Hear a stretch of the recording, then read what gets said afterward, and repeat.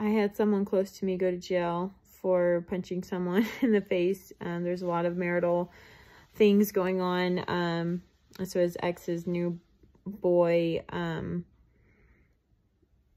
yeah, there's some things going on there. And then the other one is the, um, they wrote pre-signed checks, um, when they went out of town and the workers, um, made the person giving out the pre-signed checks write more than what they earned, like thousands of dollars more that was not in the company.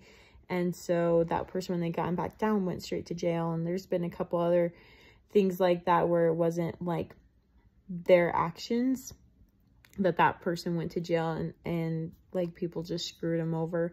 Um, so it's hard from like a third, third person perspective to feel that someone who's like, you know, is a good person gets wrongly accused or, you know, you, you know, all of the context as to why they acted out. Like when that person punched that other person and like, like honestly, like I probably deserve to be pun punched, but is it still right? No, but now there's actual consequences um, to protect people in that way.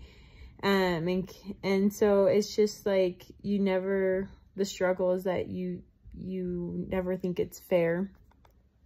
Or even and then you people i can see how they struggle with like separation of family and job positions after that. And just like the judgment of of your neighbors when they see you getting in a police car and things like that. And you know people at church you know i can see like oh what did you do? Because not because everyone doesn't really know all that's going on. Um what is within my power regarding the things that I've learned in this lesson. Um, that's important not to judge.